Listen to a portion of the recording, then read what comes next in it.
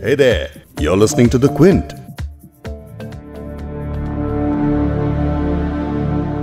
पाँच जनवरी की शाम को जेएनयू में नकाबपोश गुंडों की भीड़ कैंपस में घुसी और जमकर तोड़फोड़ और हिंसा की इस हिंसा के लिए कुछ स्टूडेंट्स अखिल भारतीय विद्यार्थी परिषद यानी एबीवी पर आरोप लगा रहे हैं और एबीवीपी लेफ़्ट को कटघरे में खड़ा कर रही है सोशल मीडिया पर जेएनयू हिंसा के खूब वीडियोस वायरल हो रहे हैं लेकिन साफ़ है कि जामिया और अलीगढ़ के बाद देश की एक और प्रेस्टिजियस यूनिवर्सिटी में खौफ का माहौल है।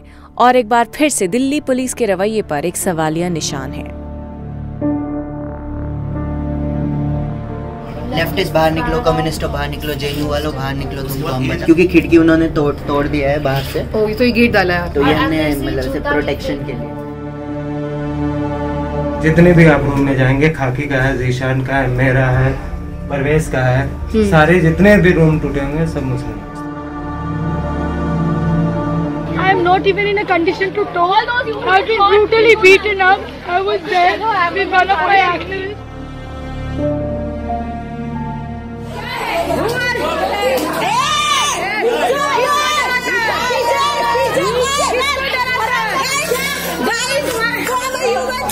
ये आवाज़ें हैं उस हिंसा की जो जवाहरलाल नेहरू यूनिवर्सिटी में कल शाम हुई। आज बिग स्टोरी में जेएनयू हिंसा ही की हम बात करेंगे। अब तक हम क्या जानते हैं और जो जान गए हैं, उससे क्या सवाल खड़े हो रहे हैं?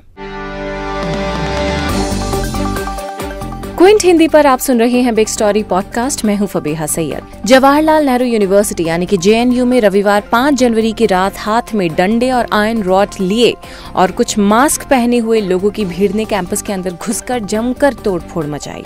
पुलिस इसे दो ग्रुप्स के बीच झड़प का नतीजा बता रही है। सुनिए डीसीपी देवेंद्र आर्य इसके बारे में क्या कह रहे हैं।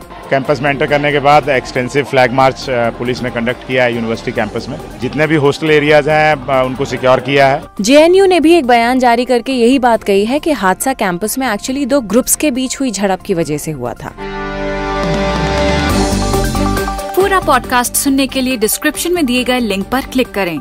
आप बिग स्टोरी हिंदी को फॉलो कर सकते हैं Apple podcast Google podcast Spotify Jio Saavn और बाकी प्लेटफॉर्म्स पर भी।